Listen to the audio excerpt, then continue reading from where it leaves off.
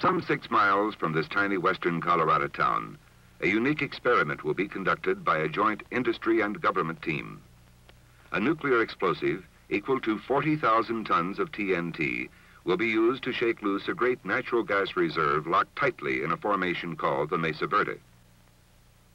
The experiment is called Project Rulison, part of the Atomic Energy Commission's Plowshare program to develop peaceful applications for nuclear explosives. Its purpose is to gather data on the feasibility of using nuclear stimulation techniques to develop commercially a natural gas-bearing field in a low permeability formation.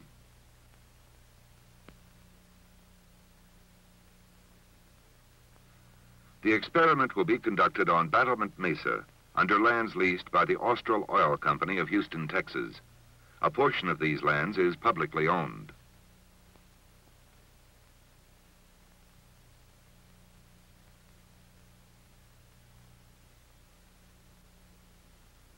Part of the Mesa Verde Formation is visible here near Grand Junction, Colorado, about 40 air miles from surface ground zero. This is what the formation looks like at ground zero under the pressure of some 8,500 feet of Battlement Mesa formations above it.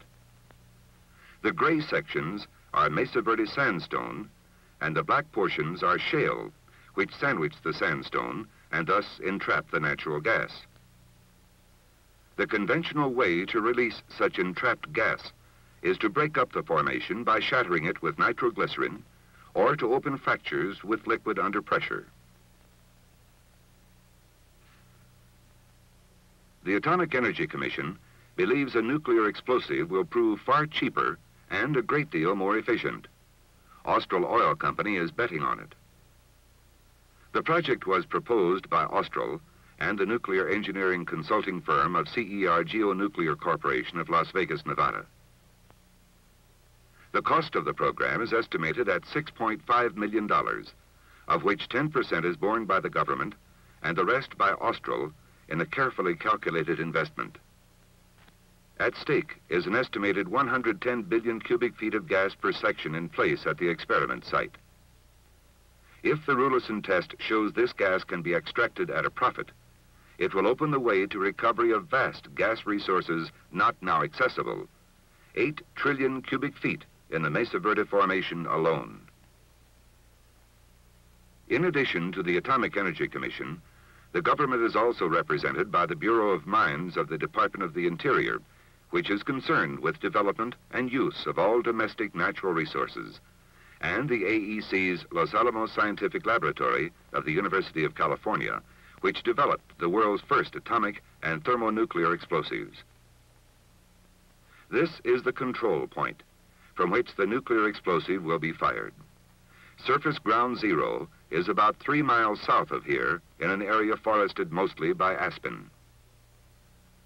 A pre-shot exploratory test well was drilled only a short distance from surface ground zero to evaluate the normal production of the gas formation at ground zero before nuclear stimulation. Another major purpose in drilling this pre-shot well was to determine the nature of the underground water table, if any, in the area. The conclusion is that there is no flow of water or supply that could be harmfully disturbed by the detonation. This is a cross-section of the Rulison field.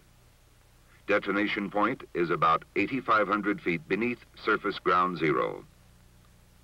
This is how the device is expected to stimulate gas production in the Rulison field.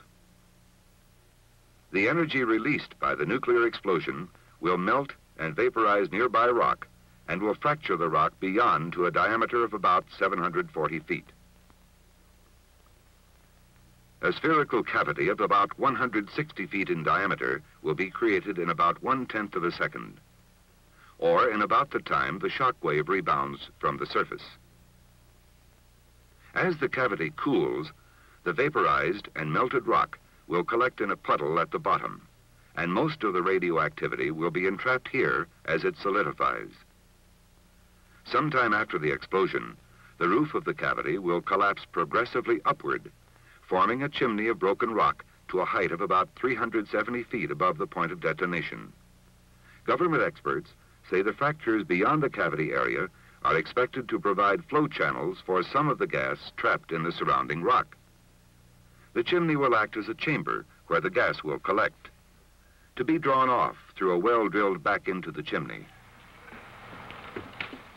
The Rulison test should prove the plowshare contention that there are two good reasons to favor nuclear over conventional explosives, economy and efficiency. In this small package is the energy equivalent of 40,000 tons of TNT. Nitroglycerin might possibly be able to do the same job as the nuclear explosive is expected to do, but 19 million quarts would be required. That would occupy a volume of 100,000 times the size of this nuclear explosive.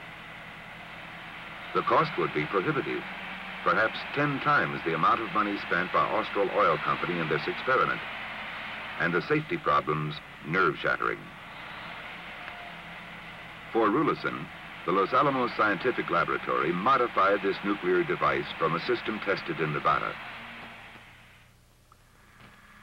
Backfilling at the 8,500-foot emplacement hole is a well-developed technique perfected at the AEC's Nevada test site. By alternating layers of coarse and fine sands, underground containment of gases developed during the nuclear explosion can be assured.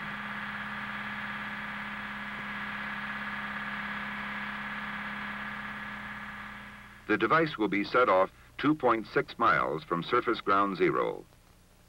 The Rulison control room is comparatively simple because the performance of the explosive is known and therefore few measurements are required.